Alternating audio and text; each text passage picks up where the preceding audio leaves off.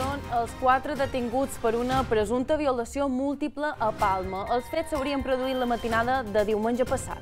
Segons la investigació, van retenir i forçar la víctima a mantenir relacions sexuals a un apartament de platja de Palma. Els arrestats són turistes i preveien tornar al seu país d'origen el mateix dia dels fets.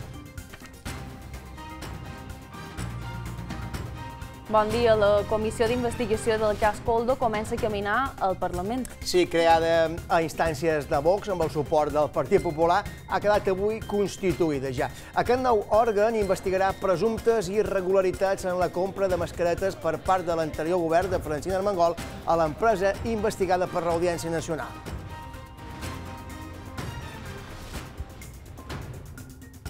La diputada de Vox, Maria José Verdú, en presideix la comissió, Antònia Serra. Sí, i la socialista Pilar Costa en serà la vicepresidenta i Marga Duran del Partit Popular, la secretària PP i Vox, ja han confirmat que demanaran la compareixença de la presidenta del Congrés, Francina Armengol, l'exministre José Luis Ábalos i l'exassessor Coldo García.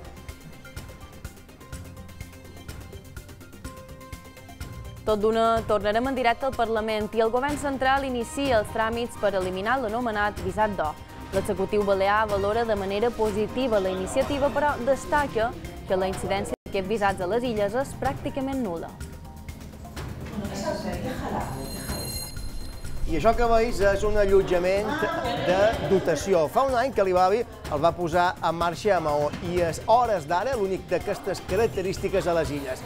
Aquests habitatges es lloguen a un preu assequible i estan pensats per estades temporals per a col·lectius vulnerables i treballadors públics. El govern té en marxa cinc promocions més d'aquest tipus. I la gerència de Son Espasa justifica per qüestions de seguretat i insalubritat l'expulsió del sense sostre del centre hospitalari Marta Berges. La gerència de Son Espases, en col·laboració amb la Policia Nacional i la local, han desallotjat les persones sense sostre que pernoctaven a la unitat d'urgències. El centre parla de 20 persones en el darrer període i l'IMAS no té constància que hagin acceptat allotjar-se a un centre públic. S'incrementen els trastorns com l'ansietat i la depressió entre els menors d'edat. Ajuntaments com el de Santa Eulària hi cerquen solucions. Eulària posarà en marxa un servei d'atenció psicològica per menors. Els casos de joves amb malalties mentals han augmentat més d'un 40%. I es Castell tornarà a permetre l'aparcament dins del poble als no residents aquest estiu. La mesura intentava posar remei als problemes d'aparcament durant l'època de més afluència. L'Ajuntament diu que treballa per facilitar places de pàrquing als afores del nucli urbà. I avui s'ha revelat el cartell de la Lluna Envers. Voldria veure't penjada Clara Fiola i Anna Ferrer són dues de les veus que s'escoltaran a la quinzena edició del Festival d'Estiu.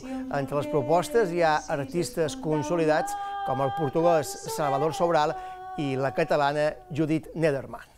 Les paraules amoroses que diria